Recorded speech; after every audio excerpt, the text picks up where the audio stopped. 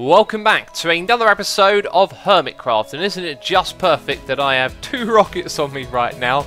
The objective of today's episode is to end up with tons and tons of rockets and be able to install some rocket stations around the place. That bit's going to be interesting. That idea literally just popped into my head, so hopefully it won't be too difficult. I am not in a good position to start this. I tell you what, that's absolutely fine. I want to start this episode off first of all by saying thank you for all the feedback on the last one. Every now and then, you know, you're just you're just doing your thing. You turn up, you play, you make videos, and every now and then you hit gold and you don't even realise it. Uh, people absolutely loved the last episode.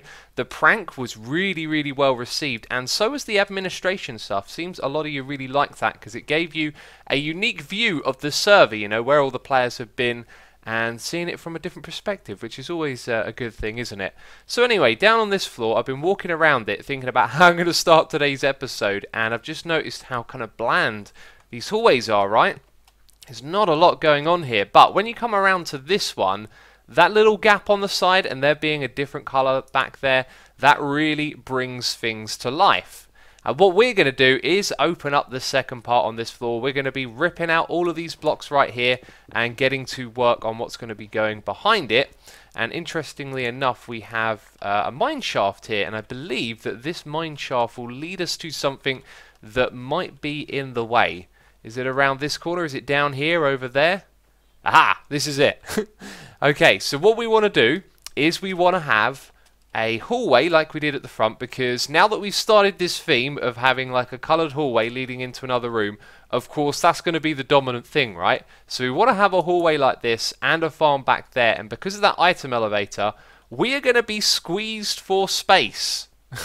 which is slightly alarming to me. Now, there's another thing we're going to be doing this episode as well, which will also cause a squeeze for space. We're going to be hiring Mr. Cubfan. We're going to be heading over to the Hermitcraft communal area, and we're going to be putting in a request at Cubfan's shop to come over here and build a room for us. Now, he's very good at building with colour, which is something... I'm not too adventurous with. I like to just stick with, you know, one or two colours on each floor of our base, right? And over here we got the jukebox room, and this is directly above where I was just digging. In fact, you can see uh, the floor below. So there's going to be limited space here as well. So after we've built our farm down there, we're then going to be able to say to Cubfan, hey, this is how much space you've got. Because above here, uh, you can see there's glowstone. That is the floor of all the sorting system up above. Now, I'm not breaking any of the redstone because I built it all on those stone bricks. So you can see that there is limited space to work with around here as well. So I think the way for me to get going here is to start digging down below first of all and take care of that. And actually I can jump down here nice and easy. We're going to be digging out this space down here and figuring out what we've got to work with. I've been a little bit worried we wouldn't be able to do this, but it's all looking really good at the moment. We're going to be able to have a hallway at the front, and the farm we're going to build will fit into this space here. It will be a little bit of a squeeze, but the farm design is nice and adaptable, and I've fallen into a hole. Now what we could have done is just brought the farm all the way over here to the front because we don't need a corridor like this, but I think we're going to kind of create this as like a, a, uniform thing that we copy around all the sides of this. So we will take the layout for this hallway and move it over here and then put the farm behind it. And it doesn't need to be the biggest farm ever, so that is absolutely fine. Peeps, we are going to be building a sugarcane farm. It's never that exciting, but this design is actually really, really awesome. It was made by Nembomb MC. I'm going to put a link to his video in the description box, which is really worth watching because you'll learn so much more about this farm than what I'm going to show you, as I'm just going to be building it. And we're going to be adapting that design so that it is a fair bit smaller and probably not as well, I was going to say efficient, but efficiency really isn't the deal. I'll tell you what, I'm not going to natter on now. Let's start work on this hallway and we can talk about the farm when we're actually going to build it. I've cleared out the space for building the first hallway and a little bit of a problem down here. We've got this opening which isn't actually mirrored in that corner over there. I'm going to have to go investigate what we did over there. I think I opened up this bit here, which is what I'll do.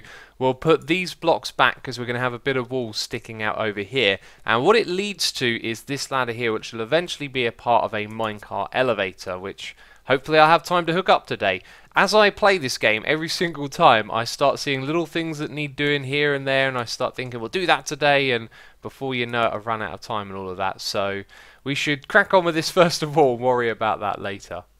Green, green, green. That's that's the colours that we're going to use. We're going to use this green, uh, that green, that one over there, maybe some of this green as well.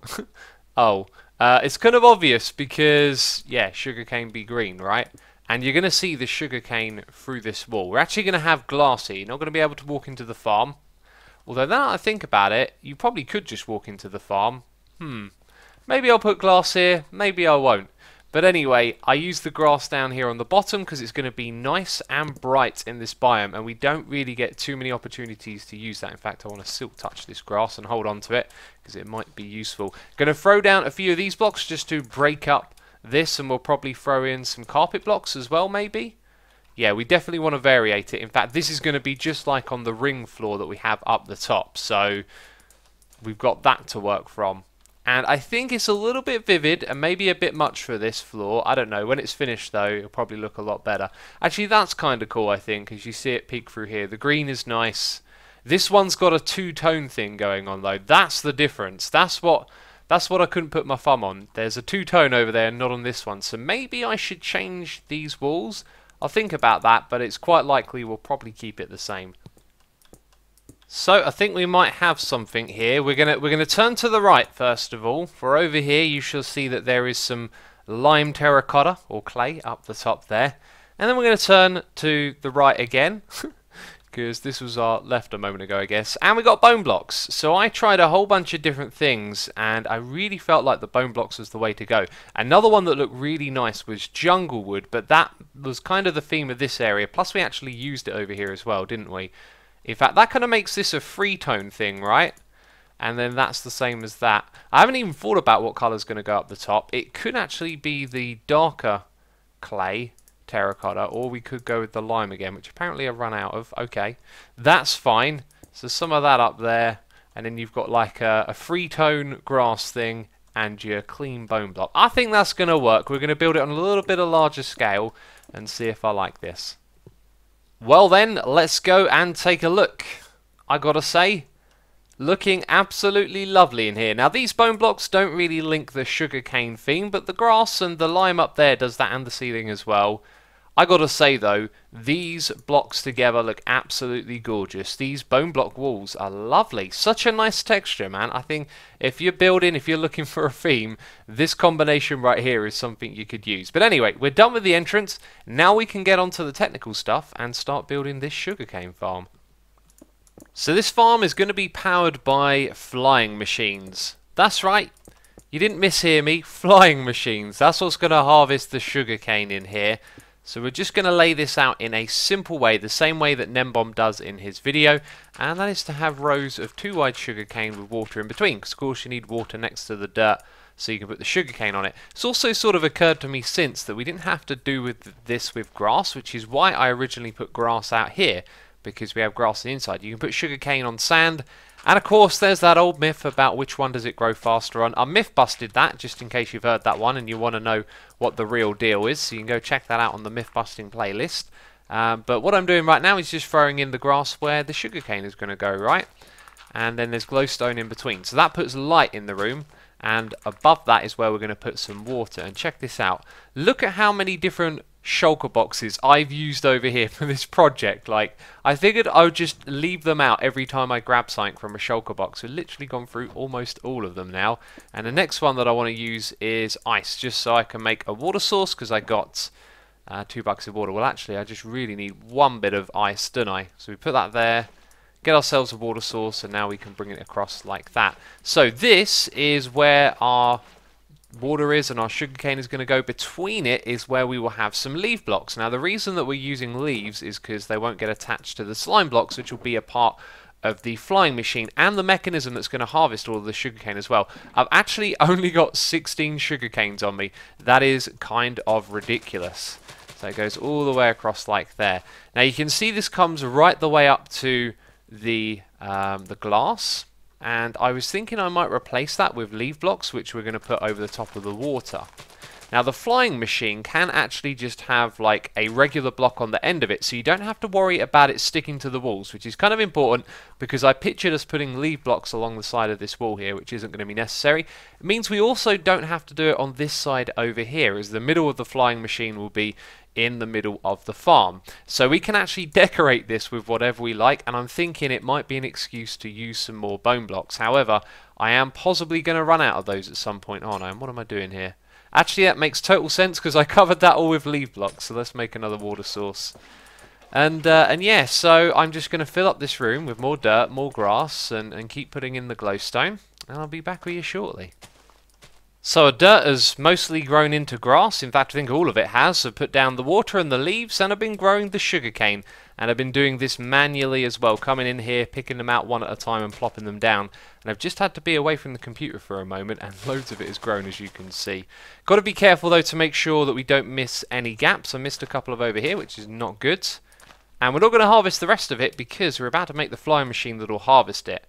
This design is so awesome. It's going to go back and forth across. It's going to knock off all of the sugar cane and it'll drop onto the grass so that we can collect it. But we'll come back to that in a moment. So this thing over here, which is hard to look at, that's an observer block. It's got a furnace behind it with redstone on top. So when it receives an update, it'll power that. And we have here a repeater with uh, a trapdoor and that trapdoor will probably update the observer block that's going to come across. So this little gap right here is what the flying machine I believe is going to sort of find its way into and then all the way over at the other side of the room just over by one block you can see a very similar setup except that observer block is rotated a different way. So if we go around the back here you will see that this is the same kind of dealio as before. I've got a feeling I made a big mistake here. This ain't in the right place. I certainly got this wrong. So that trapdoor was on top of this thing. That's the flying machine, those two blocks right there. That should actually be behind here. And this is powered by a redstone torch, by the way. So when we press the button, I believe this thing is going to fly. So in order to believe it, uh, to build it, believe it, we're going to need two sticky pistons, some slime blocks, and some lime stained glass. The glass is the bit that's going to go on the end. That could basically be any block. And we start off with a sticky piston in this gap. And then I guess we probably want to put think that's got to go there. So then the other one's got to face that way. Right, so we'll put in a temporary block. And now the rest of building this is easy. I'm pretty sure that is correct. That looks correct to me. So then what we do is we put in our slime blocks. Now these are going to be touching the leaf blocks above and below. That's not going to be a problem. The one on the end though, it would be. So that's where we put that block and do the same thing on this side. And I believe it is now ready to go. And I'm excited. I can't wait to see this thing in action. So let's press the button, man. I really want this to work. and it doesn't even start. What have I missed? What have I done wrong? I thought I got everything right. That's definitely pointing into there. So this should have changed, and that should have definitely sent an update down a block. Oh, I know what I've done. Okay, so actually, yeah, that's a little bit silly. I've built it in line with this quite instinctively. So if we break this here with Silk Touch so we can pick it back up, that should actually be one block behind. And now, when we press the button, Hey, off it goes. Okay, let's watch it do its thing. Also good so far. There probably needs to be a gap above this thing, which is important because there already is a gap. And now it's going to harvest the sugarcane, and it's going to leave behind these blocks. They're not actually there. You see nothing dropped. But the important thing to observe is if the sugarcane lands on the leaves, you can see that some of it has there. Let's hop out of the way because it should then get knocked off when it comes back, right? And then there'll be nothing left on top of the leaf blocks, which makes it lossless, which is just terrific. Also, it successfully made its way over here and uh, of course went back again. So that's really nice to know. And now we're left with loads of silly ghost blocks. If I relog those will disappear. It's kind of ridiculous just how many it's left and how it's sort of left them in even intervals almost. Like it's always just before the leaf blocks. That is peculiar isn't it?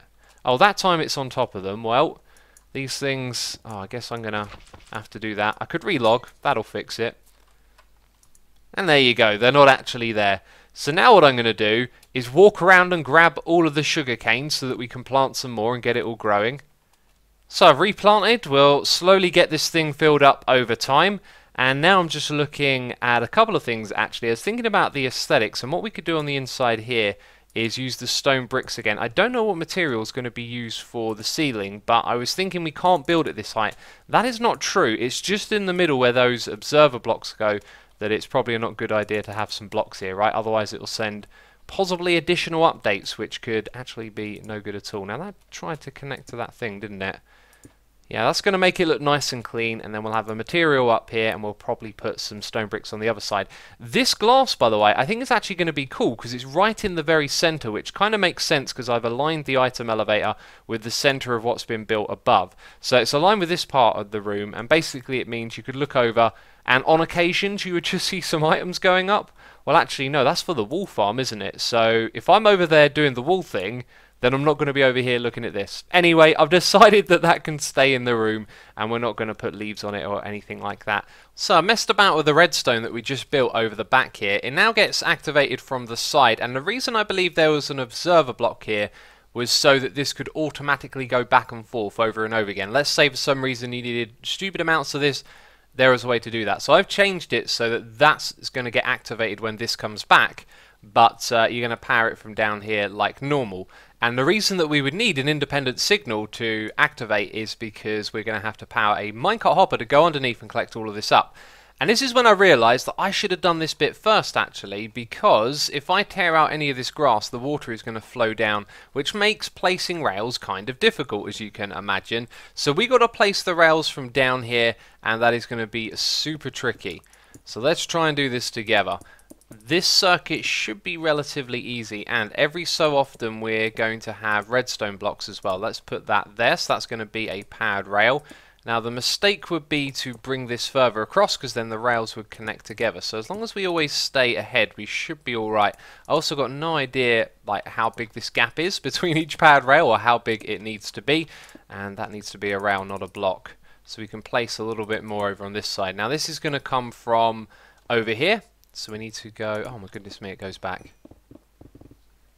And look at what I found. We are cutting things really close. I hope this glowstone doesn't affect the ice down there. Kind of looks far away. Kind of looks like that shouldn't be a problem. So this is where it's going to come in from. Let's put a powered rail there. Then somewhere back here, well in fact we'll just put it right here, we'll have another rail. This one won't be powered, so this is where the minecart hub is going to sit and then when we give it a signal it's going to go off on its way. So it gets powered and it goes around the corner. I need to put in those rails. I don't think this is actually going to be that big of a deal. Until I saw this thing, this is actually going to get in the way, isn't it? Because once this is connected up, it means that building the next rail going around the corner isn't going to be a problem. And no point when we place these are they going to try and connect with those. It's just a case of this is now in the way. When it comes to this thing, I think there's no way of avoiding a rebuild here. Something has got to change, and it probably means that this thing will go in that direction a little bit. It'll come up, and then there'll be like a second bit that takes it up to the top, because we can't push it any further back in that direction, I remember. Things are always a tight squeeze in these bases, aren't they?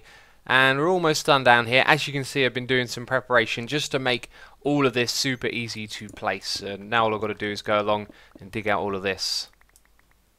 Today has been one of those days where I keep getting pulled away from the computer and I've been interrupted so many times of making this episode and now I come back and all of the sugarcane has grown all the way. It hasn't been that long but apparently so because it's all grown to the top. And by the way, been doing some testing. The sugarcane will actually fall into this space here. Not a lot of it, but it means that we could patch it up with some glass or just leave it open, which really wouldn't be a problem. I don't mind losing a few bits here and there. Now down below the rails are all in place. This wasn't uh, a problem at all really. I thought it was going to be a real pain but actually it was quite straightforward and simple. Now if we head up top we'll eventually have some redstone over here that's going to move those items into a collection chest and remember at the beginning of the video I said that we were going to be building a was it a firework rocket? I think it might have been actually what I said. And it is a firework rocket. But you know, the boost rockets for flying, we're going to build a factory for that. So we need sugarcane, we need a crafting bench, and we need gunpowder. Now we've already got a gunpowder farm, and we're going to bring the items up to here. So how I want this thing to look is basically something like this. There'll be loads of chests back there, and this will be like a little station for coming along and crafting this up. I don't know why I picked out slabs. What we actually want are stairs and we kind of want them to be facing the other way. Well, I'll sort that out in a moment, but yeah, we'll have a little thing here that you can walk up to and uh, do this with. Open it up and get your gunpowder, get your sugarcane. And of course, we have a gunpowder farm, so let's go and check that out.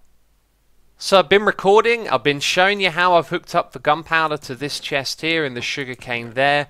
And then I've just decided to delete a whole bunch of footage. It wasn't terribly exciting. I was trundling along I was fumbling with the redstone a little bit, and then I realized that I hadn't done this as well, and I'm kind of running out of time to get this episode together for you, and it just feels like, now nah, let's scale this back a little bit because it was getting kind of boring doing the same thing over and over again. So you can see we've got the sugarcane and the gunpowder hooked up. I'll show you the behind the scenes on that another time, as we've got to go back there and finish the sugarcane room where all of it grows. We've got a little bit more redstoning to do, but we have done enough to make the room up above ready for Cubfan to come over and decorate.